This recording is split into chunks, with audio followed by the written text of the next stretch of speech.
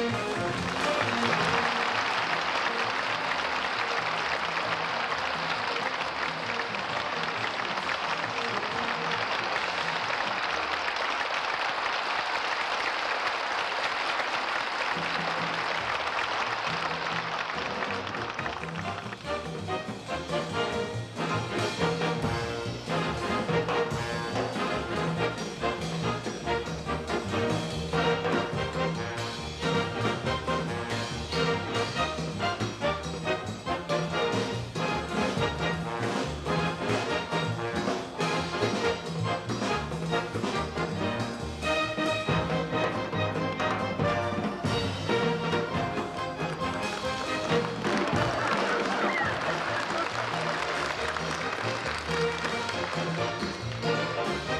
フフ。